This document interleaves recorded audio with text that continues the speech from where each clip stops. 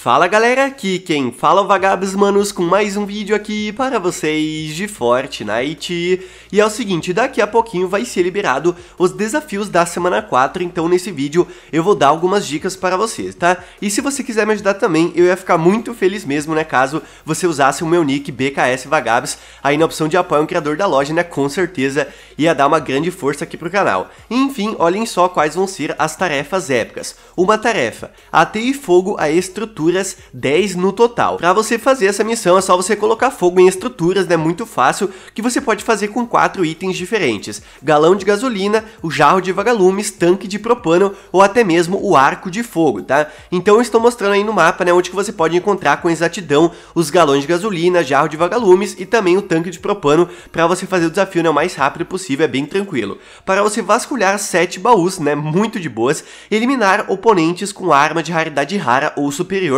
ou seja, armas azuis, roxas ou douradas, usar um arco ou uma granada de onda de choque em animais selvagens, né? um desafio também muito fácil, domar animais em diferentes partidas, lembrando que os animais que podem ser domados é o dinossauro, o javali e também o lobo, então eu estou mostrando aí na tela onde você encontra esses três animais selvagens para você domar, lembrando que para você domar um animal, você tem que fazer né, a capa de caçador utilizando ossos de animal e mais pedaços de carne, tá? Para você causar dano explosivo explosivo a oponentes mil de dano, você pode fazer a missão utilizando granada, o arco explosivo ou até mesmo né, bazuca que você pode comprar com um bombito lá no norte do mapa, né, onde eu estou mostrando aí para vocês. E a última tarefa épica para você reviver um companheiro, né, você faz, claro, no modo solo, aí você não consegue fazer, então você faz no modo duplas ou no modo esquadrão, muito tranquilo também, ok? Então é isso, mano, se você gostou do vídeo e de alguma forma te ajudou, deixa o likezão aí porque não custa nada e me ajuda muito, e claro, né, se você quiser me apoiar na loja, com certeza